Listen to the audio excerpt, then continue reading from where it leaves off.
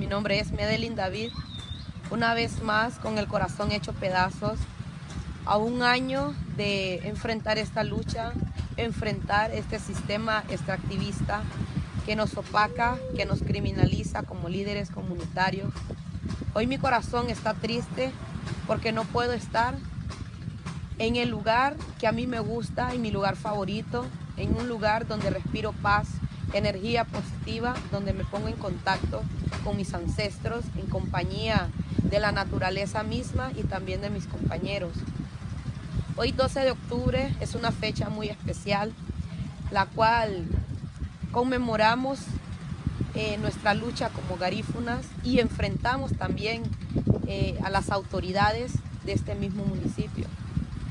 Hoy quisiera estar nuevamente en el predio con mis compañeros para que gocemos, para que disfrutemos y así reivindicarnos una vez más con nuestros ancestros.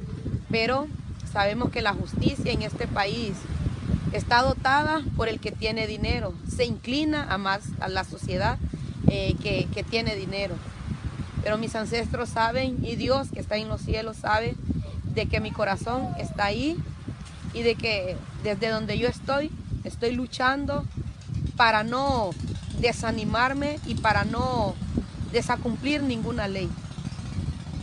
Pero sí, con todo el alma y con todo el corazón, estoy ahí, aunque no en cuerpo. Estoy orgullosa de este movimiento, de todo lo que hemos logrado hasta el sol. También orgullosa de mi organización, Ofrane, de mis compañeros que han asumido este cargo y con Dios que los ha protegido y a nuestros ancestros.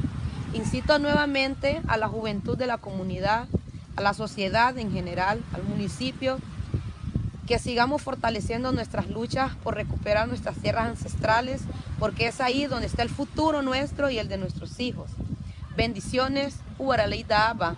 Medelín David está con ustedes por siempre. Sereme.